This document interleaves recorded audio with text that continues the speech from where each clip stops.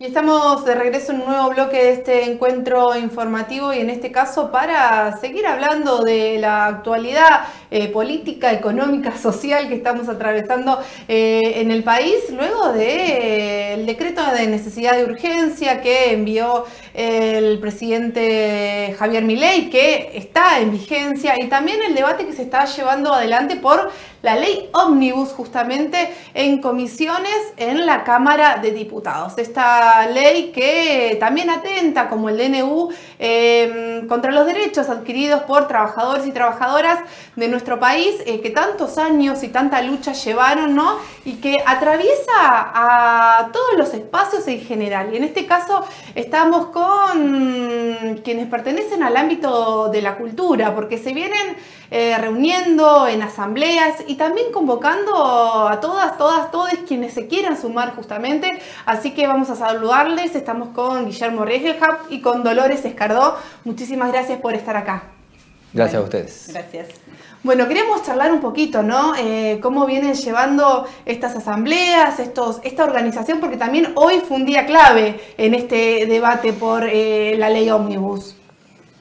Bueno, nos venimos juntando, el primer eh, signo de alarma fue cuando vimos los, los artículos referidos a cultura en la ley ómnibus, a pesar de que ya estábamos alarmados con el DNU, pero ahí fue como, ¿eh? ¿Cómo? ¿Qué pasa? Como que ya iban por todo, todo, todo. Así que ahí empezamos como a conectarnos los y las trabajadoras de la cultura de Viedma y de Patagones, que ya por supuesto teníamos redes de encuentros porque nos conocemos, porque trabajamos en conjunto, pero bueno, definimos ahí hacer una primera asamblea abierta en la Plaza San Martín.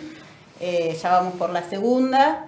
Y bueno, organizándonos y hoy eh, mirando mirando el debate. Mirando el debate y viendo, sí, sí, sí, sorprendidos todavía de, de los argumentos que, se animan a, plantear, ¿no? Eh, bueno, para, sumar a lo que decía Loli, obviamente este movimiento, como seguramente todo el mundo sabrá, eh, se está dando en muchísimas ciudades de todo el país. En la Patagonia este, se ha desarrollado un montón, estamos en contacto también este, a través de redes y demás con otras asambleas de otras localidades, a través de la asamblea eh, de teatreros de la provincia, de Río Negro, y también de multisectoriales culturales, digamos, que se están juntando. El panorama es el mismo para todo el mundo, ¿no? ya lo sabemos, y no solamente para el sector de la cultura, por supuesto. El planteo nuestro y la convocatoria no es por una cuestión de sectorizar, sino más bien de eh, sumarnos a la voz de los distintos sectores que cada uno en su materia, digamos, están reclamando esto que vos decías, ¿no? la vulneración de sus derechos conquistados. Mm. Eh, a nosotros particularmente dentro del ámbito de la cultura, lo que plantea esta ley ómnibus es la derogación de dos leyes, de la ley este, que crea el Fondo Nacional de las Artes y de la ley que crea el Instituto Nacional del Teatro y, también la descentralización, eh, achicamiento, de financiamiento, exactamente, del resto de los entes culturales. Estamos hablando de CONAVIP, estamos hablando del INCA, este, del INAMU para la música, etcétera, etcétera, etcétera. Entonces, eh, la verdad que la preocupación es transversal porque el riesgo es enorme. Mm. Eh, ahí donde mires eh, va a haber un hueco, básicamente, ¿no? Eso es mm. lo que está planteando. Sí, también plantear un poco en primera persona lo que sabemos que, que produce en nuestro sector, porque bueno, lo que veníamos hablando es que es tan amplio, o sea, es tan amplio el panorama de derogaciones de artículos que la verdad que recorre es como se forma una nebulosa, ¿no? Que por ahí eh, quedan arriba algunas cuestiones más significativas, pero que de fondo viene muchísimo y viene a arrasar con todo. Sí, lo complejo también, lo que veíamos hoy un poco en diputados, lo complejo de abordar tantos temas tan diversos y tan complejos y tan amplios en una sola comisión donde se habla de educación, de salud, de cultura. Entonces, claro, muchos diputados quedan ahí tecleando, ¿viste? Bueno, van agarrando cosas, pero la verdad es que lo que está mal es que se traten tantas cosas en una sola ley. O sea, eso ya de por sí está mal. Deberían tratarse por separada. Bueno, ¿querés discutir estas leyes? Bueno, las discutimos por separado. Y además tienen que también poder, así como fue con la ley del aborto, que en primera persona las organizaciones, el personal de salud iban y contaban lo que significaba una ley como esa, bueno, en este caso también deberíamos estar las voces de cada sector diciendo, bueno, ¿qué implica para el sector de la cultura, por ejemplo, que no exista más el Instituto Nacional del Teatro? Mm. Bueno, eso no va a suceder. No, no, no es casual, no es casual que, lo, que lo hayan... Lugar a ese debate. No, no es casual porque además están planteando justamente eso. Digo, esa es la estrategia, ¿no? Mm. Un paquete de modificación así de alto de leyes en 10 días en tres comisiones. Mm. Es inabarcable, ¿no? Y cada una tiene su especificidad. Entonces, bueno, un poco la tarea que nosotros estamos tratando de asumir colectivamente es, eh, por un lado, bueno, organizarnos un poco nosotros como sector cultural, relevar para cada una de las disciplinas y, de los actores culturales de, cada sector eh, cuáles serían las consecuencias negativas de, la supuesta aplicación de estas mm. medidas y salir a comunicarlo a la gente, contarle a la gente que no tiene por qué saber cuáles son las cuestiones que están en riesgo, ¿no? Bueno, eh, hablemos un poquito de eso. ¿Cuáles serían estas, estas principales cuestiones que, están en riesgo? Que uno, a ver, obviamente eh, se habla de las fuentes laborales de, cada uno, de cada una, de cada uno y que hace al sector cultural, pero sino también de la importancia que tiene la cultura en la vida de todas las personas, ¿no? Obviamente, de ciudadanos y ciudadanas. Sí, sí, esas también, más allá del impacto concreto sobre nuestra actividad y sobre nuestras profesiones, oficios, etcétera Em, también el, impacto sobre la comunidad. Exactamente.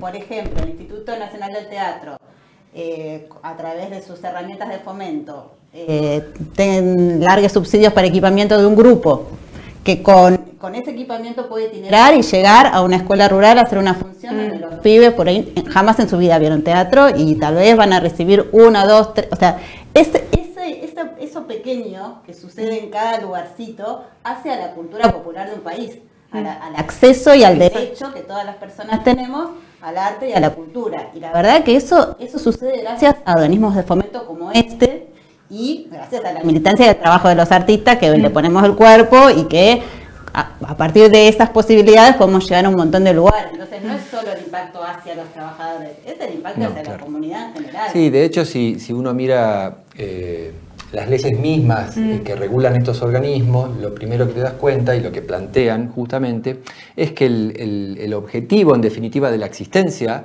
de estos entes es no, eh, no solo quiero decir este, colaborar, financiar, ayudar, subvencionar a los artistas, sino que el fin en definitiva es llegar al público. Exactamente. Es permitir desarrollar, ¿sí? Eh, el derecho al acceso a los bienes culturales de, nuestro país. Entonces, eso es lo que se restringe en definitiva. La consecuencia no solamente es la falta de laburo para nosotros, la definanciación de los espacios, la imposibilidad de pagar alquileres, luz, gas, agua, eh, giras, etcétera, etcétera, etcétera, este, presentación, digamos, la, propia actividad de, cada uno de los rubros artísticos, sino que en definitiva lo que se vulnera es el derecho al acceso y participación en la vida cultural. Mientras les escuchaba pensaba un poquito de eso, ¿no? La federalización del arte y de la cultura, cómo llega a cada, a cada rincón, la diversidad ¿no? de las voces, porque si no quedaría concentrado en grandes empresas que generan eh, hechos eh, culturales, y podríamos decirlo, no sé, pienso en, uno se dice eso y se refiere a Capital y los teatros de, la calle Corriente, qué sí, eso. O, digo, como un ejemplo mínimo, digo, ¿no? Eh, pero cómo, cómo se puede, cómo se puede diezmar toda e, e, esa construcción que hay a lo largo y a lo ancho del país. Ya que lo mencionás, el tema de, la federal, de, lo, federal, si hay algo que, característica, eh, que caracteriza perdón, a estos entes, es justamente que está mm. conformado por consejos que tienen eh, representación en todas las provincias, por lo mm. tanto ahí está asegurada una mirada federal de no solo de las políticas y de cómo se entiende la cultura, sino concretamente del reparto de esos recursos. Mm. Eh, ¿Qué están planteando ellos? Y hoy lo escuchábamos al nuevo secretario de Cultura, la centralización, otra vez. Claro. La unificación en, un sola, en una sola cartera de Secretaría de Cultura que va a manejar todo. Y ahí se pierde seguramente eh, esa, esa, capacidad federal, esa territorialidad tan diversa, ¿no? Mm. Eh, eso, justamente, la, posibilidad de que aparezcan distintas voces, eh, no podemos decir que el Teatro de Tierra del Fuego es igual al que hacemos nosotros acá, igual al que se hace en Buenos Aires o en cualquier otro, mm. lugar del, país. ¿no? Mm. Eh, entonces, eh, un poco también ¿no? es esa, volver a esa mirada centralista, por supuesto, con la intención de achicar, cercenar y además de controlar. Mm. No son palabras mías, son palabras, son palabras del propio secretario de Cultura que fue a hacer una introducción este, a la comisión que trataba el tema. Mm. Y una de las palabras que repitió más de una vez fue control. Mm. Entonces, ¿de, cuál, es, cuál, es, la propuesta? Habla de un programa de cultura y en vez de hablar de un desarrollo de la cultura, lo único que muestra son números que se achican, este, instituciones que se cierran y centralización y control. Bueno. Y en este marco, como decían, la, organización y la formación, eh, el conformar redes, ¿no? Mañana hay una nueva, un, nuevo encuentro, ¿no? De estas asambleas que, venían, que se vienen realizando ya hace dos viernes. Sí, mañana eh, la idea es encontrarnos en el Teatro del Tubo a las 20 horas. Eh, la idea es, es, armar comisiones de trabajo concretamente porque, digamos, por un lado está todo lo que tiene que ver con la discusión y problematizar y pensar y repensar, pero por otro lado el, el contexto es urgente, digamos, no hay mucho margen. Entonces sabemos que lo que ahora necesitamos es organizarnos en comisiones para visibilizar la problemática concreta del sector cultural, eh, para llegar a los legisladores, que ya lo venimos haciendo, teniendo redes. reuniones hace poco con... reunión con el diputado Doñate, o sea, la idea es poder llegar a nuestros representantes de primera mano y, eh, por otro lado, organizarnos para el paro del 24. Exacto. Eh, así que eso es lo concreto del, trabajo que tenemos en principio mañana a las 20, así que invitamos a todos y todas las trabajadoras de la cultura y siempre es una asamblea abierta, mm. sabemos que, cultura no solo somos quienes nos dedicamos al arte, sino mucho más, así que están todos invitados, pero específicamente es para ponernos a trabajar. Sí, sí, sí. Y después, y bueno, seguiremos ampliando e imaginando siguientes instancias, porque evidentemente esto no se va a cortar acá, no termina el 24 nos preparamos ahora sí para el 24 y para estar en redes, seguir comunicando, como decía Loli, mm. este, toda esta preocupación. Eh, pero yo creo que viene para largo, esa es la lectura que tenemos, van a ser eh, ¿no? sucesivas situaciones que vamos a tener que ir pensando y dialogando y pensando mucho juntos y en comunidad cómo seguir, cómo bancar. Sí, porque eh, también ante las amenazas, ¿no? Eh, desde el vocero hasta distintos funcionarios que dicen, si la ley no se aprueba, lo que viene va a ser peor y con más sufrimiento. Entonces, bueno, eso también eh, involucra esto que decía, ¿no? Em, decíamos, mira... Nos quedamos un poco sin palabras. Sí, es, difícil imaginar lo que viene, ¿no? También.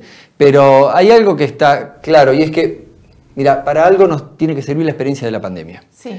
Eh, ahí en la, pandemia se eh, puso en evidencia este, cuán necesario es para nosotros el Estado, no para nosotros eh, en particular el, sector, digo para la comunidad en general. ¿no? Si el Estado no está en situaciones de, este, urgencia, de complicaciones, es muy difícil. O sea que vamos a tener que trabajar mucho en red, en redes solidarias para bancarnos más allá de esta línea de protestas y comunicación y demás, sino humanamente para poder acercarnos al otro y tirarle una mano a los que van a estar más necesitados, digamos. Mm. Eh, así que bueno, hoy más que nunca hay que juntarse. En ese contexto. Bueno, muchísimas gracias por este ratito y por esta charla. gracias a ustedes por el espacio siempre. bueno, y de esta manera nos vamos a compartir un pequeño corte y en un ratito ya volvemos con el final de este encuentro informativo.